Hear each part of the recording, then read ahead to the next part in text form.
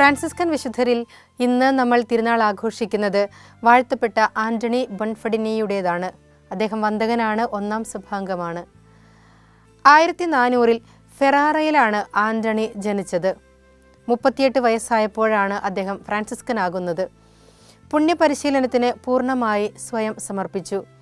ദാരിദ്ര്യത്തിലും എളിമയിലും അദ്ദേഹം ശ്രദ്ധേയനായി. കുരിശ് രൂപത്തിനു മുൻപിൽ ധ്യാനനിരതനാകുന്നതിലായിരുന്നു അദ്ദേഹത്തിന്റെ പ്രത്യേകമായ ആനന്ദം. പരിഹാരവും പ്രാർത്ഥനയും വഴി സ്വന്തം പാപങ്ങൾക്ക് അദ്ദേഹം പ്രായശ്ചിത്തമനുഷ്ഠിച്ചു. വൈദികനായ ശേഷം ആത്മാക്കളെ രക്ഷിക്കുവാനായി തീവ്രമായി യത്നിച്ചു. വിദേശ മിഷനിൽ പോകാനുള്ള തീവ്രമായ ആഗ്രഹം സഫലമായി പൗരസ്ത്യ ദേശത്തേക്ക് നിയുക്തനായപ്പോൾ ദൈവത്തിന് അകമഴിഞ്ഞ് കൃതജ്ഞതയർപ്പിച്ചു.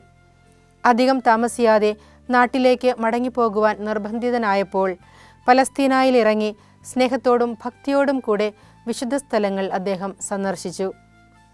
നാട്ടിൽ തിരിച്ചെത്തി വീണ്ടും ശ്ലൈഹിക ശുശ്രൂഷയിൽ നിയുക്തനായി.